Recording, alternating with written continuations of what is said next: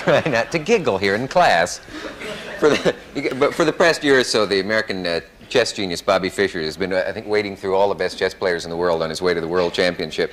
Last time he was on this show, uh, he said he'd be playing the Russian Grandmaster Boris Spassky uh, after he had polished off another Russian master, Tigran Petrosian. And polished off seemed kind of arrogant. Uh, and, uh, but he's here tonight. He polished him off, and um, just as he promised. And the World Championship will take place uh, sometime later this year. And someone recently said about him at a match at the Manhattan Chess Club where he beat everybody in sight with no problems. He's just the greatest chess player who ever walked the earth. Um, will you watch him walk the earth out to this chair, Mr. Bobby Fischer?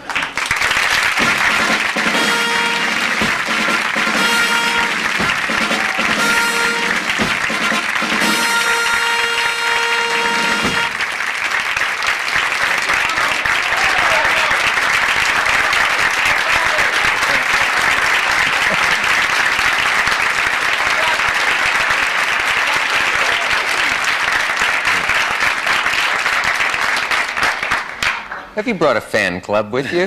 Doesn't seem in character for you. Do you like sitting there? Because if you move there and then I move here, or if you move there, see, that's my attempt to do a chess joke. Yeah. I don't know any. It's okay. Hey, there's a thing in the Times today. I break him up.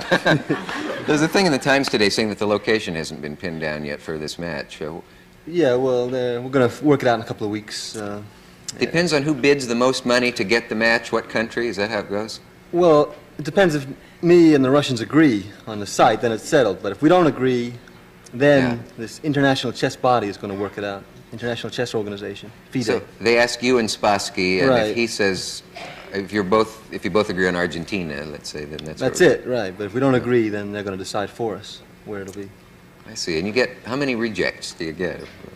I don't even really know the system. I don't, I don't, I didn't study it too carefully, you know. Do you much care where it's played?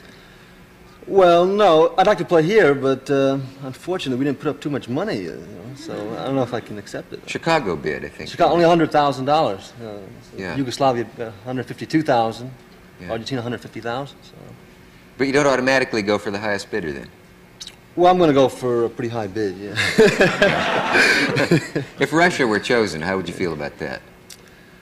uh, I wouldn't be too happy, but they didn't even put a bid in. They saved me the trouble of uh, rejecting them. I wonder why they didn't. I know why. You see, the last time they they've been playing the match among themselves for decades, right? And Yeah. they've been playing for peanuts because chess is supposedly amateur over there, although they're all professional. But they want the rest of the world to think it's amateur. Mm-hmm.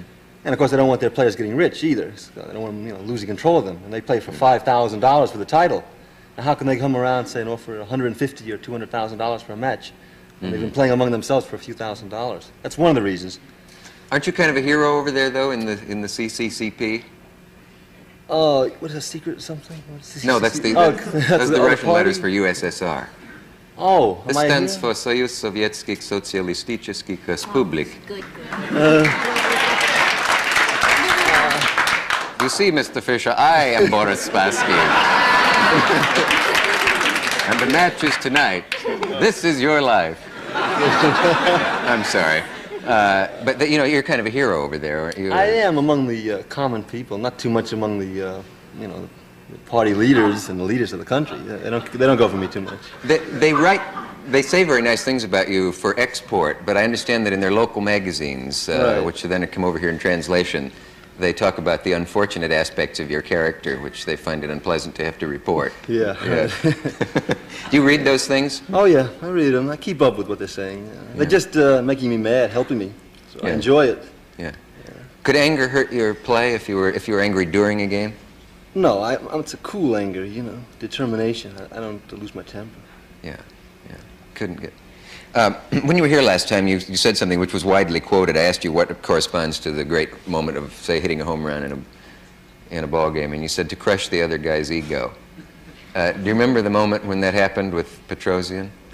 Was there a moment? Yeah, after uh, the sixth game, I felt him crumbling at that stage. Mm-hmm.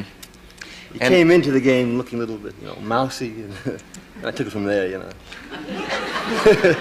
It's funny because they say, uh, I believe in, the, in a big tournament like this, you get three days off for illness. Um, and a man said, um, Fischer's opponents always have a way of becoming ill. What is that? What do you do to them? Well, there's a tremendous amount of pressure in these matches, and uh, Mm-hmm. you know, it's really it's, the strain is you know, it's really tremendous. Just Yeah. day after day, playing five hours, and if it's adjourned, the next day six hours, but you've been up all night studying the adjourned position, and there's a lot of pressure. You could stay up all night and, and, Sure. and not fear the fact that the lack of sleep would wreck your game? Well, you try and have it all worked out in your memory, so you really, when you just come in there, just playing things by rote. Of course, Mm-hmm. it's not that easy. You have to try not to fall asleep sometimes. Yeah. What would it do to your ego if, by some t- terrible chance, you were you were beaten in this match? Hmm. Well, uh, You obviously haven't thought about the possibility. I try not to think about it too much. I'd realize it was a fluke, and uh, If uh, now you, you, this isn't something that is over like a fight in one night. It takes about uh, what two months, two months, 24 matches. right? Yeah. Is there, is there any way, uh, uh, Bobby, that you can judge from reading the, uh, the achievements of past chess masters, uh, whether you're not, whether you think you're the greatest chess player that ever walked Right, the earth? We've got a rating system, and uh, according to the present rating system, I have the highest rating of any player that's ever lived. They kind of, of course, it's hard to rate the players that are from the past that are dead now, uh, but uh, Wait a minute, you have the Well, records. So they go back, say, they say, my record against Botvinnik, then Botvinnik's record against Euwe, and then Euwe's record against so-and-so, and they go all the way back, and according to the, the system, I have the highest rating, and the system is accepted by the International Chess Organization. Highest rating ever, or highest? Ever, yeah. Yeah. Uh, yeah. well, this is a dumb question, but I'm going to ask it because I want to know. Uh, as a chess player, that's what you are. Right. Okay. Pro. That's all I want to ask. no, I wanted to know if he did something on his side. When? In his spare time. I don't know. Tell I him, mean, tell him how hard you work at it. that's what I mean. I wouldn't know if it's a, it's a full time. Full time. Let me put the It's not question like a hobby. for you. Oh, thank you. Have Miss Duncan Duncan wants to know, to know. do you or would you do something on the side? Right.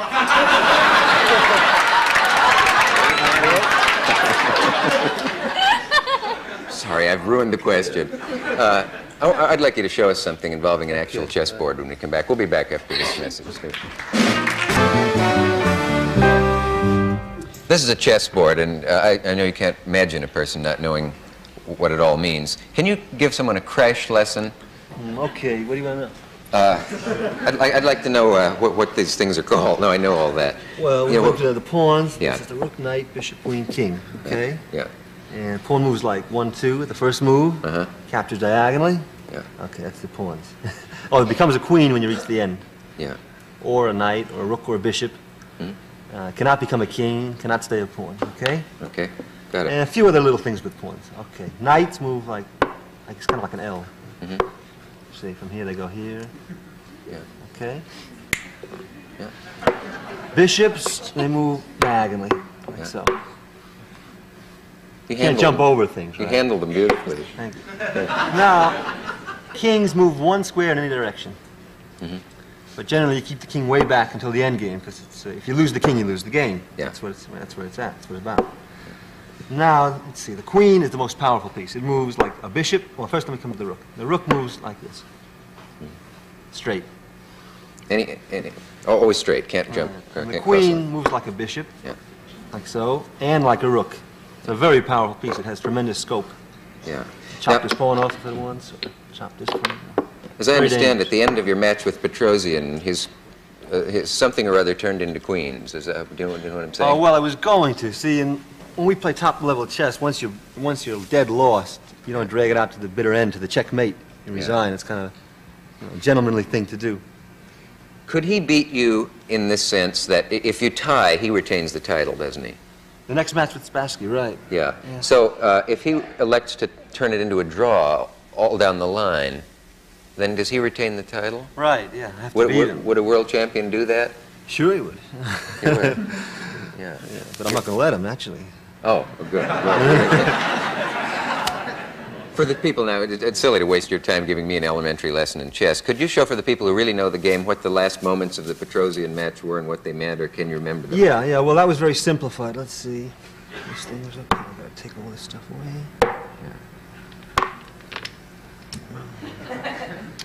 I don't know what to do with it either. Everything's gone. This is That's supposed to be- There.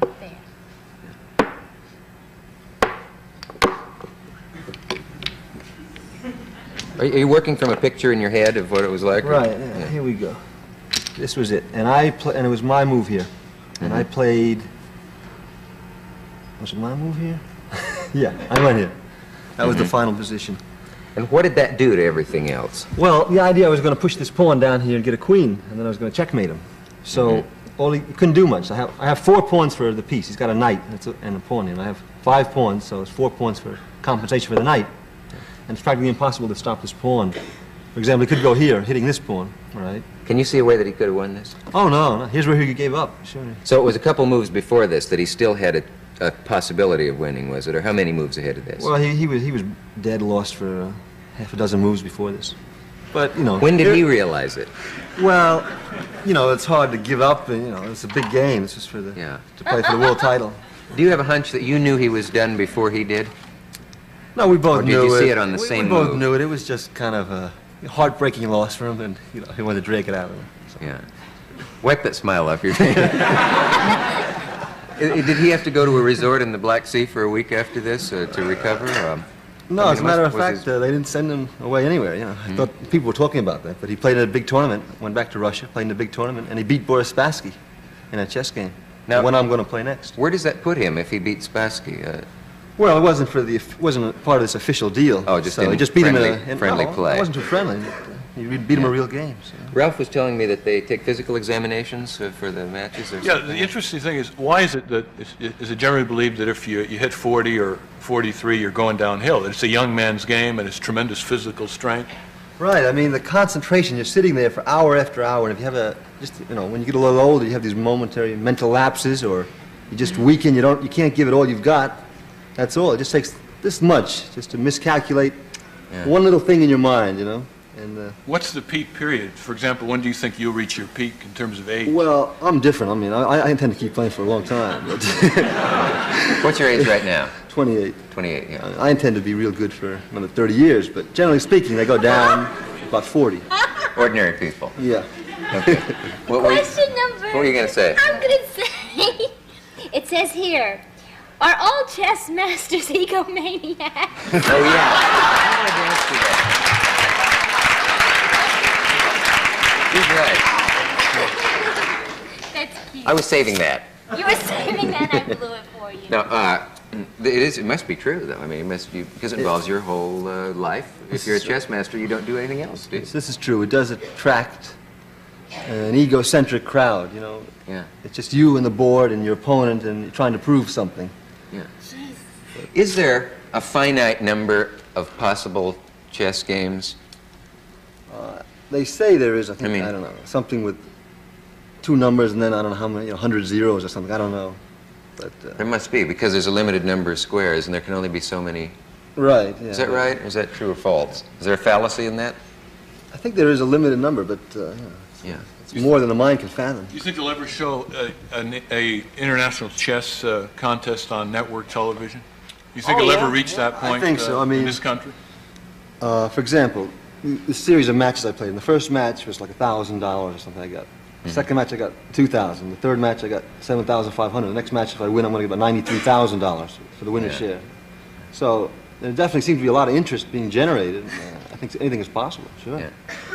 There, there's What, are never. they, what are you going to do if they, if they hold you to three hours? You know, it's, it's Well, there we'll just like change. a football game. We'll change the time limit. I'm. Uh, I'm reasonable.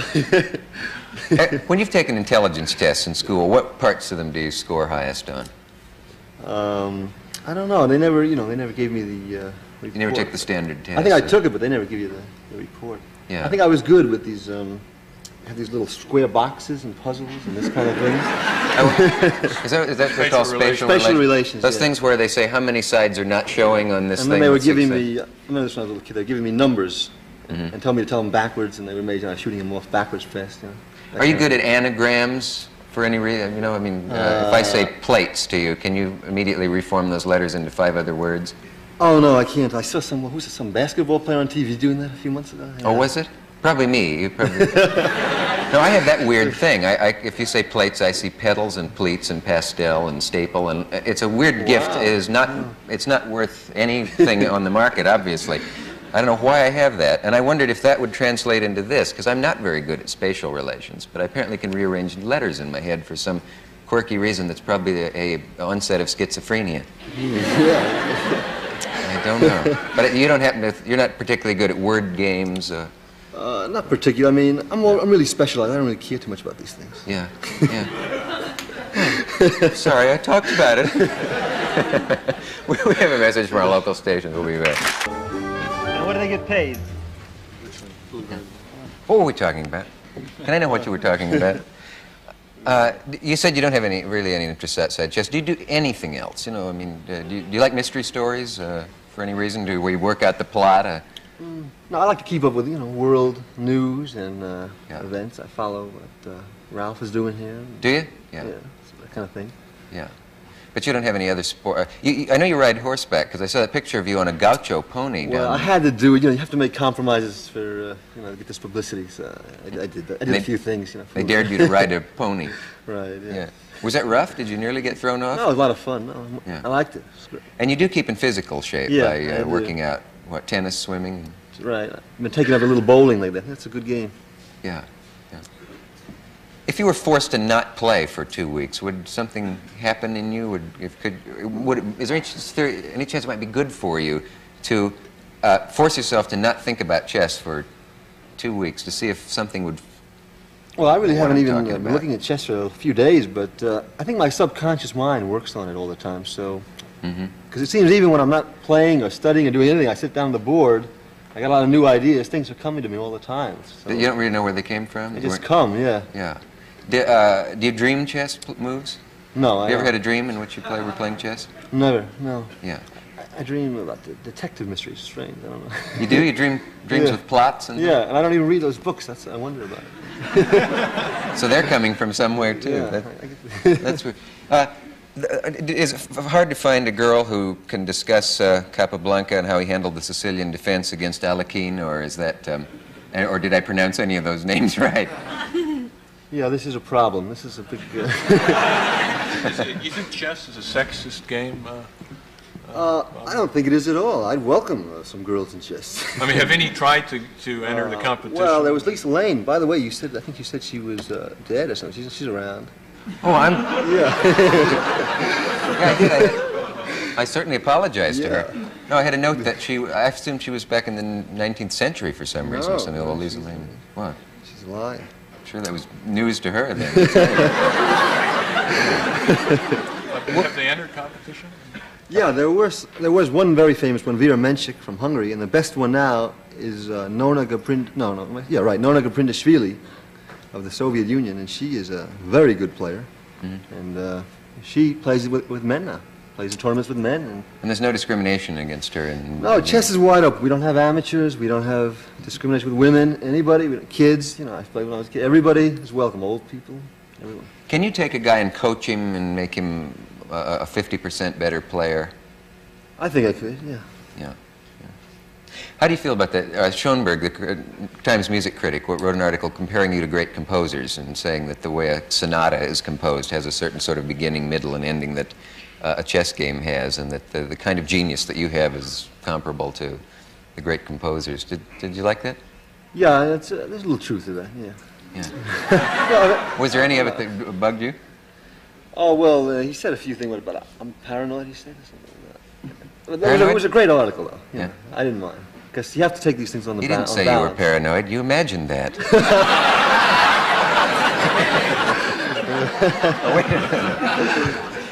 Uh, where do you live, generally? Uh, in hotels. Yeah.